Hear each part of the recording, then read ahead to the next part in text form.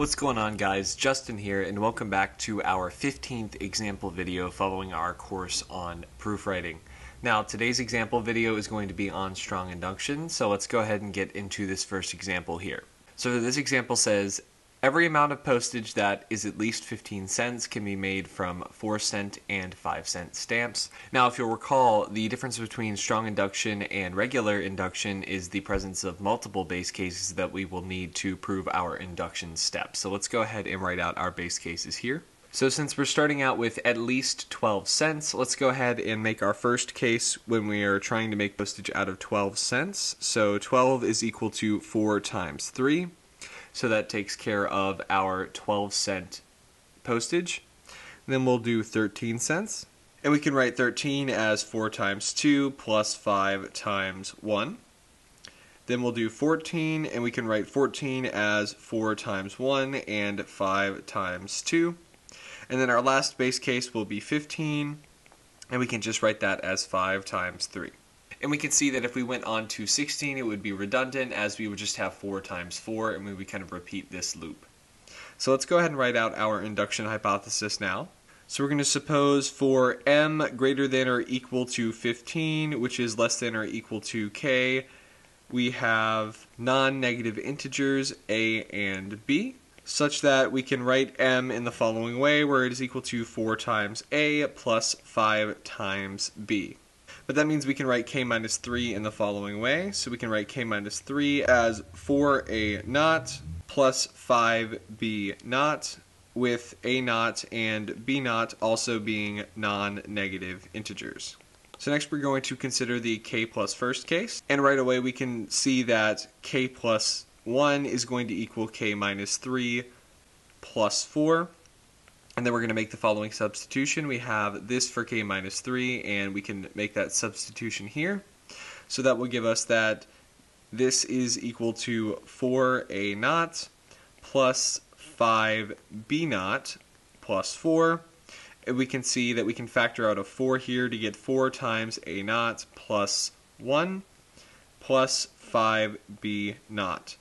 And so we can see that that completes our proof as we have expressed our k plus first case in the proper manner.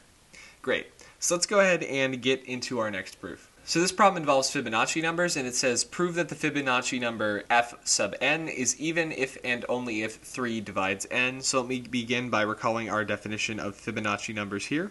Okay, great. So the Fibonacci number sequence is recursively defined as follows, where we have each successive term is defined as the sum of the previous two terms with 0 and 1 being our first two terms. Great. So let's go ahead and do our base case now. So our base case is going to be f sub 3, which is equal to 2, and obviously 2 is even, and we'll have that 3 divides 3. Great. So then we'll write out our induction hypothesis next. So we're going to suppose that for all k greater than or equal to 0, that f of k is even if and only if 3 divides k. And I'm abbreviating if and only if with that IFF there. So now we're going to want to consider our k plus first case, or in this case our k plus third case, because that would be the next even number here. So we're going to consider k plus 3, uh, with f of k being even. And so to start, I want to note the following.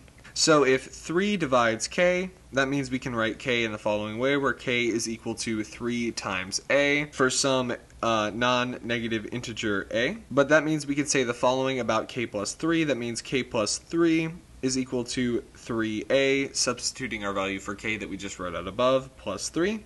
But that's equal to 3 times a plus 1. So of course we've completed a simple proof here that 3 will divide k.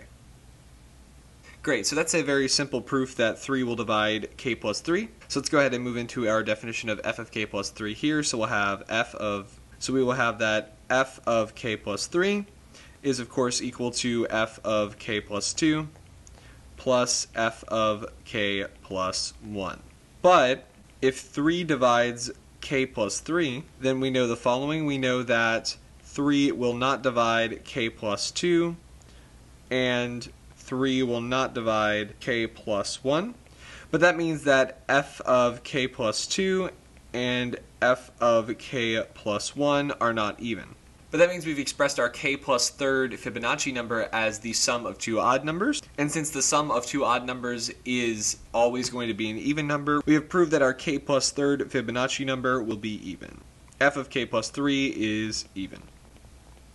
Great. So that finishes off this proof. So let's go ahead and get into the next one. So here we have a fun little golden ratio problem. We're going to denote the golden ratio by phi, which is the larger solution to the equation x squared equals x plus 1. We want to show that phi to the n is equal to f sub n times phi plus f sub n minus 1, where our fn's are representing the Fibonacci numbers here. So let me go ahead and get our definition of Fibonacci numbers from the last problem, and then we can get this one started. So as always, we are going to want to start with a base case here. So our base case here is going to be when n is equal to 1. And so when we substitute n equals 1 into our equation there, we will get the following. We will have phi to the 1 is equal to f sub 1 times phi plus f sub 1 minus 1, which is f sub 0. So that will be equal to phi is equal to, well, f1 is just 1, so that will be phi, and then uh, f sub 0 is just 0. So we will have phi is equal to phi, so that will confirm our base case there. So next, let's go ahead and write out our induction hypothesis. So for our induction hypothesis, we are going to suppose that for all k greater than or equal to 0, we have that phi to the k is equal to f sub k times phi plus f sub k minus 1. Okay, great. And then we're going to consider the next case. So let's consider phi to the k plus 1. We want to show that that is equal to f sub k plus 1 times phi plus f sub k. Great. So let's note right out the gate that we can write this in the following way. We can express this as phi to the k times phi and then we can go ahead and make a substitution using our induction hypothesis that I will outline here in blue. So that will give us the following definition for phi to the k plus 1. So we will have phi times f sub k phi plus f sub k minus 1. Okay, great. And from here, let's go ahead and multiply that through. So let's see what we get when we multiply our phi in there. So we will get f sub k phi squared, and then plus f sub k minus 1 times phi. Great. And so here is the really cool part of the problem. So let me go ahead and write out this fact for you that we are going to use to solve this problem. f sub k times phi squared is equal to f sub k phi plus f sub k. And this is by the fact that phi is the solution to x squared equals x plus 1. So let's go ahead and make the substitution now that we know this fact. So that will give us f sub k phi plus f sub k plus f sub k minus 1 times phi. And from there we can just factor out a phi, so that would give us phi times f sub k plus f sub k minus 1 plus f sub k. But by the definition of our Fibonacci numbers, this is just going to be f sub k plus 1. So that will give us f sub k plus 1 times phi plus f sub k. And we can see that that is exactly what we were trying to prove here. So that finishes this proof off. So let's go ahead and get into the next one. Okay, so this one is about trees. So let's go ahead and try and prove that if a tree has n vertices, then it has n minus 1 edges. So as always, let's go ahead and begin with a base case. So to take care of our base case, we're going to make the following observation. We're going to observe that if a tree has one vertice, or one vertex I should say, then it has no edges. But if it has no edges, then it has n minus 1 edges, which is 0. So that completes our base case there. Now I'll go ahead and write out our induction hypothesis here. So we are going to suppose that for each m, which is between 1 and k, any tree with m vertices will have m minus 1 edges.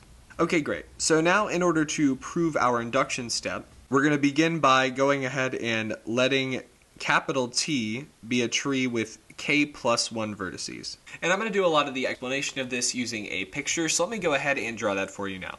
Okay, great. So there I've went ahead and drawn a tree, which we will call T, that has by construction k plus 1 vertices. So next we are going to want to pick an edge and call that E. So we're going to choose this edge right here to be our E. And from here we are going to remove E but leave its endpoints. And so in doing so we are going to get two smaller trees. We'll have one on this side over here. We're going to call this tree T1 and over here we're going to call this T2. So let me go ahead and write that down. We are going to remove E. And then by construction, we have made these two separate trees, T1 and T2. And so from here, we are going to suppose that T1 has X vertices and T2 has Y vertices. So by our induction hypothesis, so I'll go ahead and write that out by IH, since X is less than K plus 1 and Y is less than K plus 1, we know that X has x minus 1 edges and y has y minus 1 edges. And so now we want to recall that our original tree t, which was the entire tree, has x plus y vertices. So I'll go ahead and write that out. And then it also has x minus 1 edges from t1 and y minus 1 edges from t2. Plus, t has one more edge, which is the edge we removed, e. Okay, great. So adding all these up, t has x minus 1 plus y minus 1 plus 1 edges. But that's equal to x plus y minus 1 edges. But we can see that that means that t has one less edge than it has vertices. So that means that t has x plus y vertices and x plus y minus 1 edges. But that's exactly what we needed to prove to prove this k plus first case here. Great, so let's go ahead and get to the next problem. So this is our final proof for our video. We are going to define a sequence by a naught equals 2, a1 equals 5, and for n greater than or equal to 0, we have the following definition for our sequence we have a sub n plus 2 is equal to 5 times a sub n plus 1 minus 6 times a sub n. We want to show that a sub n is equal to 2 to the n plus 3 to the n. Okay, great. So let me begin by writing out the first five terms of this sequence here. So we will have 2, 5, 13, 35, and 97. And we're going to use these to do our base cases. So let's go ahead and write out our base cases for strong induction here. So let's first do when n is equal to 0. Well, when n is equal to 0, we will have a sub 0. And like I said, we know that that is equal to 2. And that is equal to 2 to the 0 plus 3 to the 0. So that one checks out. Next, let's do when n is equal to 1. And so then we will have a sub 1, and a sub 1 is equal to 5, and that will be equal to when 2 to the 1 plus 3 to the 1, so that one checks out as well.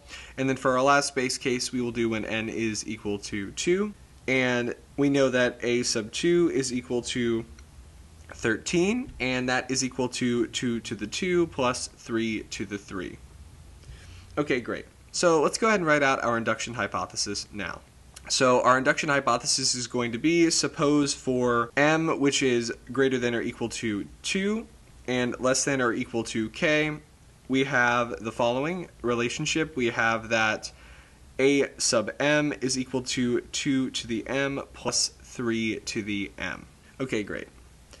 And so in particular, since we have that k minus 1 is greater than or equal to 1, which is less than or equal to k, then we can write the following. We'll have that a to the k minus 1 is equal to 2 to the k minus 1 plus 3 to the k minus 1. Okay, great. So now, like usual, we want to consider our k plus first case. So let's go ahead and write that out. We are going to consider a sub k plus 1 which by the definition of our sequence is going to be equal to 5 times a sub k minus 6 times a sub k minus 1. Great. But now we can apply our induction hypothesis to these two terms. So once we do that, we'll get the following definition for a sub k plus 1. And that'll be 5 times 2 to the k plus 3 to the k minus 6 times 2 to the k minus 1 plus 3 to the k minus 1. Okay, great. So let's go ahead and multiply that out. So we'll get 5 times 2 to the k plus 5 times 3 to the k minus 6 times 2 to the k min minus 1 minus 6 times 3 to the k minus 1. And so we can see that we can consolidate our powers here on our negative terms, and that would give us minus 3 times 2 to the k and minus 2 times 3 to the k. And then on our left hand side, we will have 5 times 2 to the k still, and 5 times 3 to the k. And so now we'll just factor 2 to the k out of our 2 to the k terms and 3 to the k out of our 3 to the k terms. And so in doing so, we will get the following. We will have 2 to the k times 5 minus 3, and then we'll have then we'll have plus 3 to the k times 5 minus 2. And we can see that that will give us 2 to the k times 2 plus 3 to the k times 3, which is of course going to be equal to 2 to the k plus 1 plus 3 to the k plus 1. We can see that what I'm underlining in blue here is exactly what we wanted to prove. So thus we have proved this for our k plus first case and completed our induction step, which has completed this proof by strong induction. So that finishes this last proof off, and that's a good place to stop.